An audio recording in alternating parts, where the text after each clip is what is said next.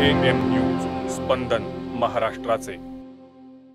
लोकसभा निवडणुकीच्या चौथ्या टप्प्यात मुंबईसह राज्यातील सतरा मतदारसंघातील मतदानाला सुरुवात झाली आहे. शिरूर लोकसभेचे उमेदवार डॉक्टर अमोल कोल्हे यांनीही नारायणगाव इथे पत्नीसह मतदानाचा हक्क बजावलाय. याबाबत आढावा घेतलाय आमचे प्रतिनिधी अयुब शेख यांनी. पाहुयात. शिरूर लोकसभा मतदारसंघाचे राष्ट्रवादी काँग्रेस पक्षाचे अधिकृत उमेदवार डॉक्टर अमोल कोल्हे यांनी आज सकाळी सात वाजता नारायणगाव येथील कोलेमाळा येथील मराठी शाळेमध्ये आपला लोकशाहीनुसार मतदानाचा हक्क बजावलेला आहे.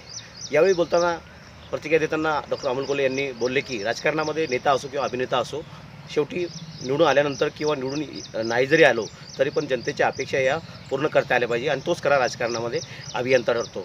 उत्स्फूर्तपणे नारंगाव आणि कोलेमाळा परिसरामध्ये सध्या मतदानाचं चित्र दिसून येत आहे.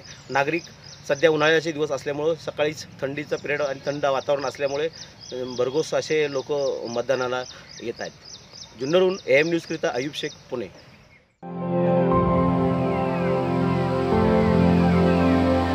A M news स्पंदन महाराष्ट्राचे.